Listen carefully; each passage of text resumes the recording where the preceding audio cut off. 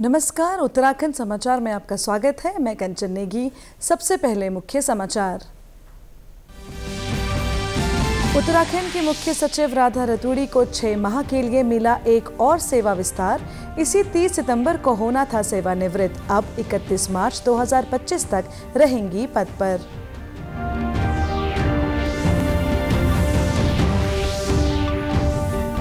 केदारनाथ मार्ग पर सोनप्रयाग और गौरीकुंड के बीच सुचारू हुई वाहनों की आवाजाही स्थानीय लोगों और यात्रियों को मिली राहत। भारी बारिश से वॉश आउट हुई थी सड़क।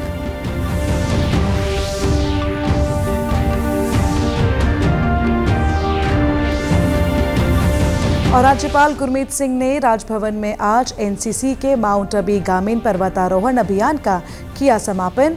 कहा, एनसीसी कैडेट्स ने खुद को किया साबित। अब समाचार विस्तार से। उत्तराखंड की मुख्य सचिव राधा रतूड़ी को छह माह का सेवा विस्तार मिल गया है।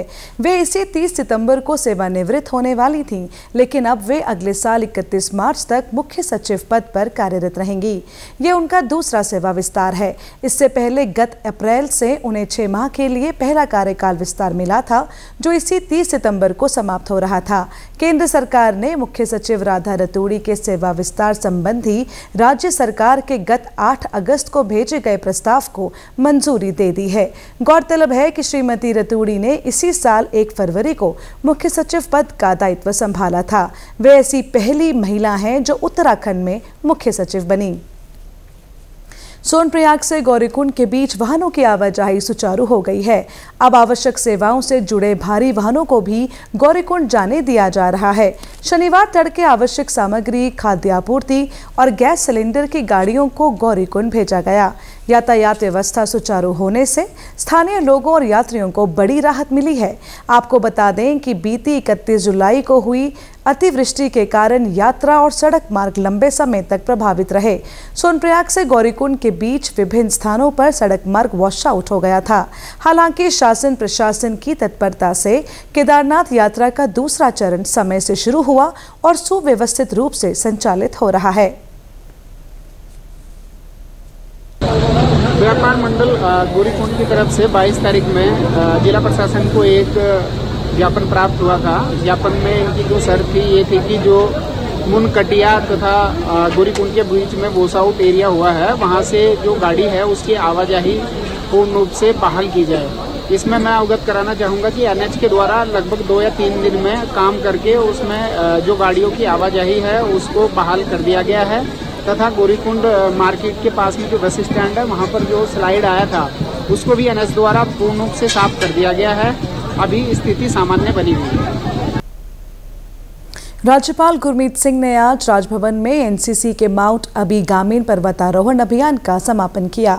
ये पर्वतारोहण अभियान 3 सितंबर से 28 सितंबर तक चला, जिसका उद्देश्य वर्ष 2025 में प्रस्तावित इंटरनेशनल माउंट एवरेस्ट पर्वतारोहण अभियान के लिए कैडेट्स का चयन करना और उन्हें प्रशिक्षण देना था। इस पर्वतारोहण अभियान में देश भर के कुल चौंतीस एनसीसी कैडेट्स का चयन किया गया, जिनमें से बारह कैडेट्स उत्तराखंड के थे। इस अवसर पर राज्यपाल ने कहा कि पर्वतारोहण अभियान के दौरान कैडेट्स ने कठिन चुनौतियों को पार करते हुए खुद को साबित किया है। उन्होंने कहा कि पर्वतारोहण केवल शारीरिक शक्ति का ही नहीं, बल्कि मानसिक धैर्य और साहस का भी परीक्षण है। और जिस प्रकार से उन्होंने ये कार्य किया है, वो हमारे सबके लिए एक बहुत गर्व की बात है।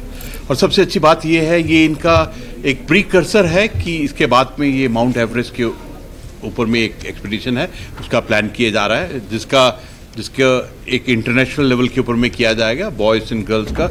और ये हमारे लिए बहुत सम्मान की बात है कि हमारे इन कैडेट्स के अंदर में से चुने जाएँगे जो माउंट एवरेस्ट के लिए जाएँगे।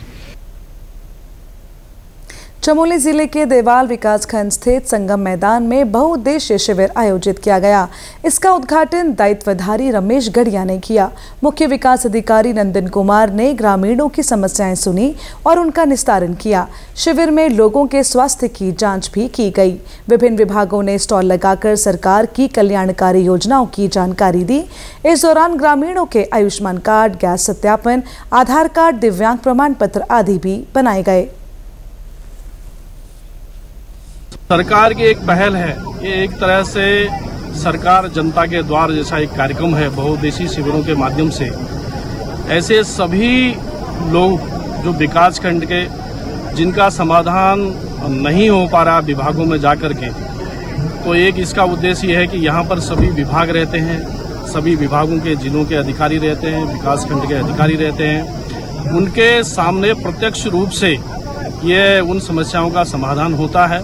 और जिसके कारण मुझे लगता है कि क्षेत्र का विकास और क्षेत्र की जो मुख्य समस्याएँ रहती हैं, उस पर भी अधिकारियों का ध्यान आकृष्ट कराया जाता है। क्योंकि अभी हमने भी यहाँ पे नया ज्वाइन किया है तो हमारे लिए भी एक अच्छा अपॉर्चुनिटी था इस ब्लॉक को समझने के लिए और ये बहुत सुदूर ब्लॉक भी है। जिसमें आज 103 समस्याएँ आई और जो यहाँ पे जो ज़्यादातर समस्याएँ हैं, वो या सड़क को लेके हैं, आपदा की भी कई समस्याएँ हैं, विस्थापन की समस्याएँ हैं, जल जीवन मिशन से भी लोगों को बहुत शिकायतें विभाग से। तो इसके लिए यही विभागों को निर्देशित किया गया है कि जो समस्याएँ हैं, उसको तत्काल उसको सॉल्व किया जाए, उसका एक टाइम बाउंड मैनर में उसको सॉल्व किया जाए। जो सड़क से रिलेटेड समस्याएँ भी हैं तो अधिकारी को कहा गया है कि जहाँ पे भी एस्टिमेट्स भेजना है या जहाँ पे वन हस्तांतरण की कार्रवाई होनी है या कहाँ किस स्टेज पे फॉरेस्ट में केसेस लटके हुए हैं, उसको भी परस्यू किया जाए। विस्थापन की जो समस्या है तो उसमें भी एसडीएम्स को कहा गया है कि उसमें आप पर्सनली उन मैटर्स को देखेंगे। तो इसको बिल्कुल इसको मॉनिटरिंग किया जाएगा और जो भी यहाँ पे प्रॉब्लम्स आई हैं, इनको स्पेशली अलग से देखा जाएगा और यही यही सुनिश्चित किया जाएगा कि जो समय जो है, उनका निस्तारण किया जाए। बहुउद्देश्य शिविर में महिला समूह के विभिन्न उत्पादों के स्टॉल लगाए गए, जिनमें मोटे अनाज, फल व सब्ज़ियाँ मुख्य रूप से शामिल रहे। समूह की महिलाओं का कहना है कि लोकल उत्पादों को बेचकर वे आत्मनिर्भर हो रही हैं। ग्रामीण भी बहुउद्देश्य शिविर से काफ़ी संतुष्ट नज़र आए।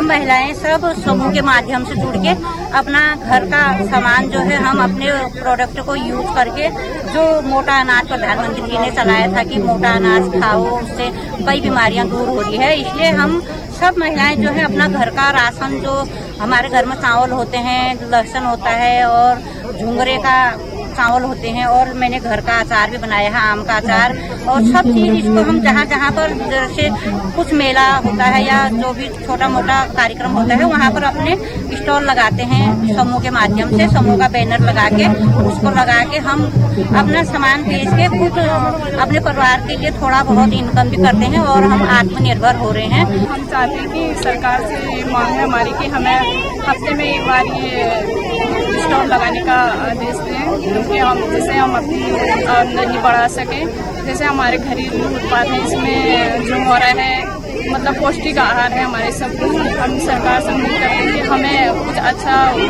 होते प्लेटफॉर्म जिससे हम अपना आजीविका चला सकें। ये शिविर लगा हुआ है, बहुत फ़ायदा है जनता के लिए, पब्लिक के लिए, क्योंकि देहरादून जाना पड़ता, जो दिव्यांग छपेट गोपेश्वर जाना पड़ता था, उसके लिए अच्छा है, जैसे आधार कार्ड, सत्यापन नारायण बगड़ जाना पड़ता लोगों को किराया लेके धीरे जिमनी प्लांट से तो उसके लिए ये सुविधा अच्छी है, वैसे फ़ायदा ही मंद है क्षेत्रवासियों के लिए। रुद्रपुर में आयोजित पाँचवें राज्य ओलंपिक खेलों का पुरस्कार वितरण के साथ ही समापन हो गया। राज्य ओलंपिक खेलों की कुल 33 स्पर्धाओं में से 22 का आयोजन उधम सिंह नगर में हुआ। राज्य खेलों में लगभग 6000 खिलाड़ियों ने हिस्सा लिया। पहला स्थान देहरादून, दूसरा उधम सिंह नगर और तीसरा नैनीताल ज़िले ने हासिल किया। समापन समारोह में मुख्य अतिथि कुमाऊं मंडलायुक्त दीपक रावत ने विजेता खिलाड़ियों और टीमों को मेडल प्रदान किए। विशेष सम्मान के तौर पर बालक वर्ग में पाँच गोल्ड मेडल प्राप्त करने वाले हरिद्वार के पार्थ को इलेक्ट्रिक मोटर बाइक और बालिका वर्ग में चार गोल्ड मेडल प्राप्त करने वाली टिहरी गढ़वाल की सोनिया को इलेक्ट्रिक स्कूटी प्रदान की गई। मंडलायुक्त दीपक रावत ने इस मौके पर कहा कि खिलाड़ियों को अपना आत्मविश्वास हमेशा ऊँचा रखना चाहिए।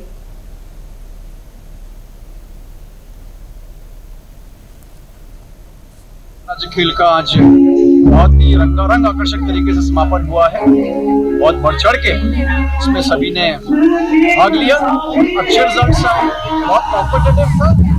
और मेरा यही कहना है कि अब जो इवेंट्स नेशनल गेम्स की ओर बढ़ रहे हैं, सभी प्लेयर्स को शुभकामनाएँ। और सेकेंडली प्रशासन को मैं रिज़ल्ट कर रहा जो भी दिक्कत है खिलाड़ियों की गवर्नमेंट बहुत सी स्कीम्स चला रही है, उनकी मदद के लिए। तो उनका लाभ लें।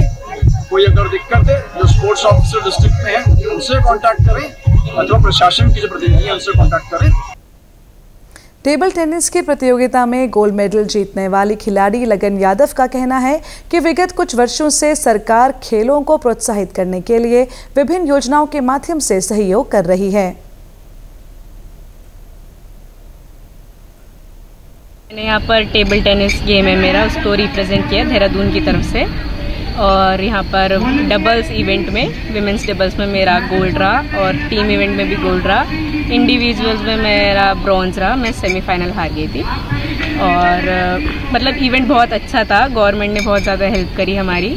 मतलब अलग अलग टाइप्स की मूवमेंट से इंस्पायर किया। बहुत छोटे छोटे बच्चे भी वुमेंस इवेंट खेल रहे थे तो बहुत बड़ी बात है। और मैं यही बोलूँगी कि बाकी बच्चे और मेहनत करें। मैं भी और मेहनत करूँ आगे जाने के लिए। और उत्तराखंड का मतलब हम नाम रोशन कर सकें। वहीं प्रतियोगिता में तीन गोल्ड प्राप्त करने वाली विदुषी जोशी ने बताया कि उन्हें परिवार ने खेलने के लिए प्रोत्साहित किया।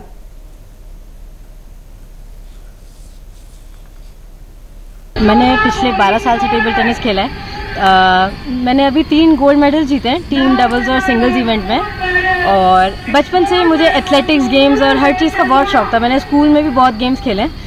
और टेबल टेनिस में मेरा पार्टिसिपेशन मेरे ताऊजी के थ्रू हुआ था। मेरे ताऊजी मेरे कोच को बहुत अच्छे जानते थे श्री प्रिंस विपिन तो उनके वजह से मैं टेबल टेनिस में आ, मेरा खेल मेरा खेलना इसी के साथ अभी तक के समाचार समाप्त हुए। दूरदर्शन समाचारों से जुड़े रहें। मिलते हैं फिर शाम साढ़े छः बजे के बुलेटिन में। नमस्कार।